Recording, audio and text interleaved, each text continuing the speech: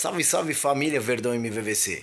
Antes de mais nada, seja muito bem-vindo aqui ao canal, deixe o seu like, compartilhe nossos vídeos aí.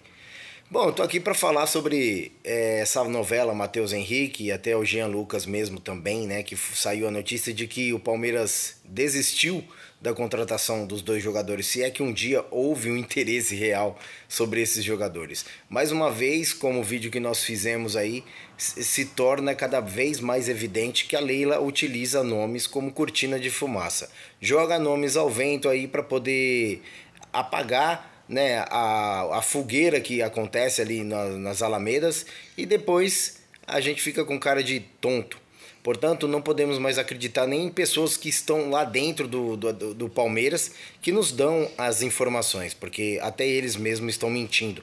Porque até então nós tínhamos a notícia, não só aqui do MVVC, mas da, de várias, várias, várias, várias, vários portais, é, twitters, canais, de que o Matheus Henrique já estava fechado e realmente o Palmeiras tinha interesse no Jean Lucas. Mas agora tudo é uma ilusão é, e realmente o torcedor palmeirense fica com cara de tonto, né?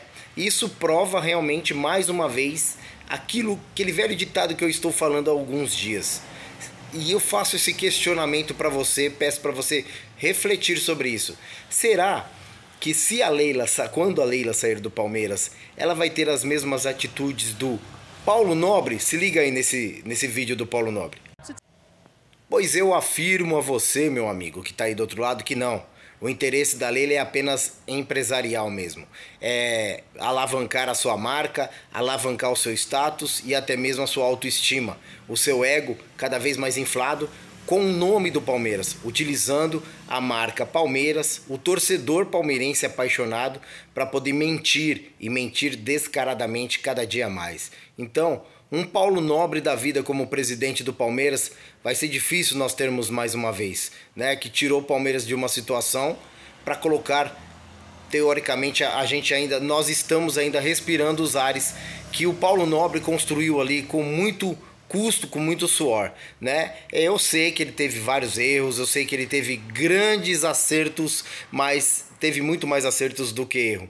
E eu volto a dizer, os louros que estamos é, ainda recebendo dessa equipe, de, desse ambiente, dessa estrutura, ainda tem a ver com Paulo Nobre. Eu quero ver até quando esses louros a gente ainda vai continuar respirando. Então, fica aí o meu questionamento. Outro Paulo Nobre vai ser difícil, que vai levar a bandeira do Palmeiras, o nome do Palmeiras como presidente do Palmeiras ou até não sendo presidente do Palmeiras, e sim apenas um torcedor. A Leila não é torcedora do Palmeiras. A gente vai ver no futuro próximo aí, quando ela sair da sua presidência e até mesmo tirar sua marca Crefisa do Palmeiras, se ela vai continuar postando fotinho no Allianz Parque ou então qualquer outro lugar com a bandeira do Palmeiras. Fica aí o meu questionamento. Leila Pereira, você é uma piada. Pior ainda é o sono que existe ao seu lado, chamado Anderson Barros.